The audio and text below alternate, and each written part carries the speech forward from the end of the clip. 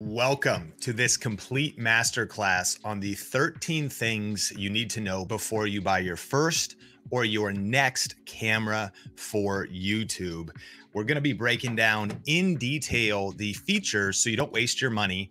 And after watching this, you're going to be the smartest person in the room when it comes to cameras. The best camera for you is at the intersection of budget, features, size, and skill. And so there really isn't the perfect camera. There's just the perfect camera for you. So these are some things to decide ahead of time. What's your budget? Let me know in the comments. What features do you need? We're going to learn about 13 different features you should consider so you make sure you don't spend your money in the wrong way and buy a camera that is missing something you need. First is sensor size. If you look at the camera here, you can see that that right there is the sensor. This is going to influence your image quality. If you want that cool, blurry background, this is what influences depth of field. This influences low light performance. And typically, bigger is better, but also the bigger the sensor gets, the more expensive. Most like wedding videographers, filmmakers, in today's world typically want to have like a full frame camera. There's a lot of buzz around having that. But for most YouTube creators, it's unnecessary. And if you go to what's called an APS C sensor camera, what people will call this, that's a crop sensor. This is like perfect for YouTube, is anything in kind of this range. Now, if you go to a one inch sensor, if you look at different cameras like the Sony RX series or the Sony ZV-1, they usually have a one inch sensor inside of there. If you think about your smartphone, it has a tiny little sensor.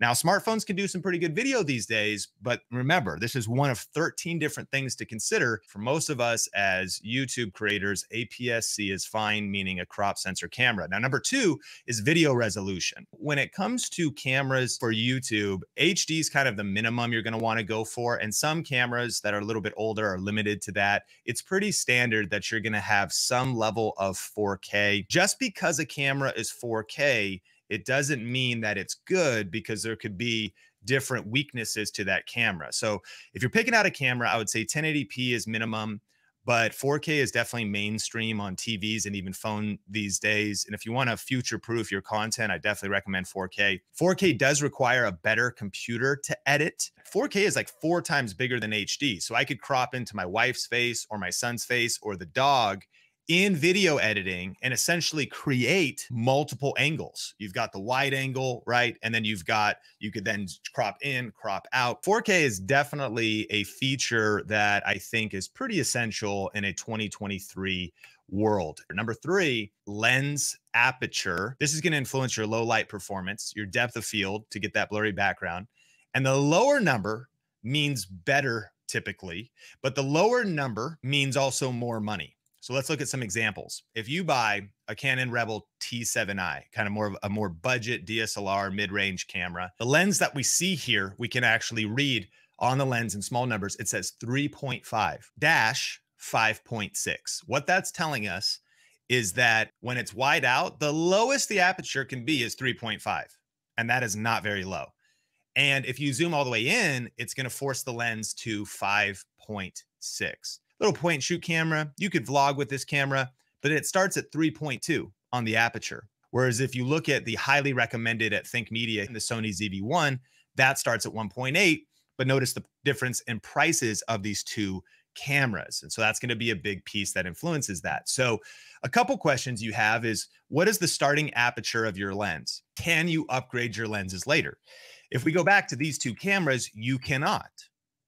These two cameras have non interchangeable lenses, whereas on a camera pictured here, you actually can change your lenses later. Number four, autofocus during video. I think that autofocus during video is an essential ingredient of a good camera for 99% of YouTube creators. For the last few years, Sony and Canon have been killing it with the best autofocus when it comes to cameras. However, it's a new world and things continue to change. In our top four cameras we recommend right now at Think Media, the Nikon Z30 does have what's called hybrid AF. That's phase detection and contrast detection. It checks all of our boxes. It's fast, it's dependable. But this is a very intelligent question you should be asking, saying, hmm, how's the autofocus? Number five is audio. Does it have a mic input? Does it have a headphone output? Does it have a good on camera microphone? For YouTube content creators, a mic input is pretty essential. A headphone output is much more rare and a great benefit if you can have it kind of a filmmaker situation, you know, where you're filming others and you want to monitor the audio the whole time. In that case, you would say, I want to make sure I have headphones. Or if it doesn't have those things, your question is, does it have a good on camera microphone? Right. And so, for example, the Sony ZV1 has a really good directional mic that has clear sound on camera. If you say, Sean, I'm frustrated I don't have a mic input. I'm stuck with this camera. What am I going to do audio wise? Well, here's a couple options. You know, a while back, I filmed a video with a little action camera from Yi, and it didn't have a mic input. So what I did was I bought a $15 lav mic from Amazon, plugged it into my iPhone, and turned on my audio recorder. I hit record, put it in my pocket, and I was able to record the audio separately. Now I've got the audio file separate from the video file. So that's going to mean it's more work. That's going to mean that in video editing, you're going to have to stitch those two things together. But all of these things can add complexity to your content creation workflow. And so as we are approaching our list of best cameras for YouTube, a mic input is essential because you want speed really in a 2023 world, it is about creating content fast, trying to remove as much friction as possible, removing as much stress as possible, and not having too much extra time in editing. Number six, size, weight, and build quality. Is it too big? Is it too heavy? What can happen to a lot of creators is they buy a camera and they get all pumped to create content like this guy right here. This thing's pretty bulky. There's a lot of excuses I could make to not leave the house with this and just leave the house with my smartphone or with a G7X. So remember, the best camera is the one you have with you. What what what do you want to carry around and do you even need to carry it around? I mean, if you're going to be locked down doing live streams or content creation at your desk, no big deal, but really important to consider the size, weight and the build quality. So what are you going to use it for? Do you have the budget for multiple cameras? Are you going to have different cameras for different solutions. And if you're only going to have one camera, then maybe you want to um, be very selective on which camera you choose.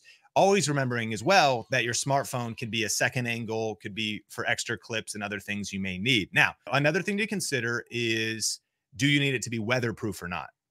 99% of us probably don't because you're if you're filming YouTube videos in your house or you're a business owner. On the flip side, the the GH5 is super weatherproof. It's a super durable, rock solid, built for rugged use. So that may be a feature you want to consider. Number seven, selfie screen and touch screen. This is another one of those features that I would say is essential for YouTube creators. A lot of us are shooting by ourselves, we're filming by ourselves. We want to make sure that the shot composition looks good. We want to make sure that we're in focus. Canon's probably the best at this. Great selfie screens that pop off to the side, the ability to tap the screen right on your face so that it tracks your face. Selfie screen would be another one to consider as we go into number eight, which is the record time limit. This one will surprise a lot of people. They get a camera home, record a 45 minute conversation, and then you get behind the camera and you go, oh, shoot. Oh, oh no. It's stopped record. Why did it stop recording? Historically, over the last really 10 years, cameras have been limited to right under 30 minutes. They have a, a record limit. Fast forward to today, this problem has been fixed for a lot of the newer cameras. But a question is, do you even need to record clips longer than 30 minutes? In my opinion, I want the camera to have as many future proofed features as possible in case someday I do want to film a video podcast. Number nine, does the camera have Wi Fi, Bluetooth, or NFC? And is that something I need? This can be something that can be very useful. And there's a few reasons why. One is you can transfer content from your uh, camera to your phone for social media out in the field like really quick and easy so you take super crispy video clips or or photos and then you could just get that to your phone secondly though you can use your phone as a remote control for your camera and here's a power tip if your camera doesn't have a selfie screen you can actually use the app on your phone as the selfie screen. Most modern cameras, uh, dare I say, all of the newer cameras in the last one, two years for sure would have these features. Now, number 10 would be skill level. one of the questions you got to ask yourself is do I even want all this complexity? And I've learned that actually complexity is the enemy of execution. When you're creating content on YouTube, you want a camera that's going to be fast, easy to use, that doesn't make you intimidated so you don't hesitate to even create content because you're so overwhelmed by the complexity of your camera. So, in some cases, getting a camera that's simple and good enough is the best way to go. Number 11, image stabilization. This is a big one. There's really three types of image stabilization there's optical lens image stabilization, the second is electronic. This can get kind of weird because this is actually like a digital correcting of, of the image. And then finally, there's what's called IBIS, which stands for in body image stabilization inside of the camera, there's motors around the sensor itself that, you know, you go right, it goes left to keep the shot smooth. So it's like these motors reacting in, in real time. Both optical lens IS and IBIS are the best. Those are actually taking out shake mechanically, essentially. And then electronic is taking it out digitally. You might be like, this sounds amazing. I need to make sure my camera has IBIS. Well, not if it's forever at your desk, just sitting behind your computer like this camera. You only really need these things, yes, if you're going to be vlogging or maybe behind the camera. Number 12, frame rate and slow motion. 24 frames is what people usually film if they want that film look. 30 is kind of just standard. 60 frames or above is for that super slow motion. For people who care about slow motion, they also a lot of times care about log format recording. Some cameras have it so you actually have a wider dynamic range and a tonal range for color grading. This is usually going to slow down your video editing. I personally avoid this because it's like get the content out. Let's like, even if the camera has it, a lot of times for speed, we will not shoot in log just because it adds more steps to the workflow. But if you would say, Sean, I want to be more cinematic. I really want to be a cinematic vlogger. I'm an aspiring filmmaker. Then log might be important to you. Number 13 is Does my camera have a clean HDMI for live streaming? Now, what does that mean? If it's not clean, it would mean you'd see like the time code, you would see the battery, you know, amount, and you don't see any of that stuff on screen. So you may get a camera and you're like, I like all the features and I'm ready to start live streaming. And then you plug it in and you're like, shoot, it's I, I can't get the the feed clean. I can't actually remove the stuff that's on screen. A lot of these newer cameras have software. I know for sure Canon has the EOS webcam utility. Sony has a similar software based utility where all you have to do is use a USB port. Skip the cam link. You go USB from the camera and USB into your laptop or computer. And then you use their software, and boom, you can create a feed and start using your camera for live streaming. All right. So, what are the four best cameras for YouTube considering all of the 13 things we just talked about? If you've been getting value, smash like. Number one is the Sony ZV-1. You've got the screen to see selfie, you've got a microphone jack. It's great for live streaming. This is one of my top recommended cameras. We love it at Think Media. It really checks all of the boxes. Now, it is just a one inch sensor, but it's absolutely amazing camera. I can't recommend it enough. If we go into mirrorless cameras and lenses, the Sony ZV-E10, it's been making major waves. Um, it really for 798, including the lens, and it's then these are APS-C sensor cameras, crop sensor cameras. So the sensor is bigger than the ZV1, great in low light lens options, you're really good to go there. And then one of the newer cameras is the Canon R10. I think that Canon finally caught up with all the other cameras. The Canon R10 is essentially the new M50. This right here, my friend, is really the top four best all around cameras for YouTube in 2023.